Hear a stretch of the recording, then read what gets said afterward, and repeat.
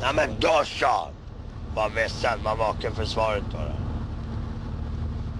Jag orkar inte svara två gånger på allting.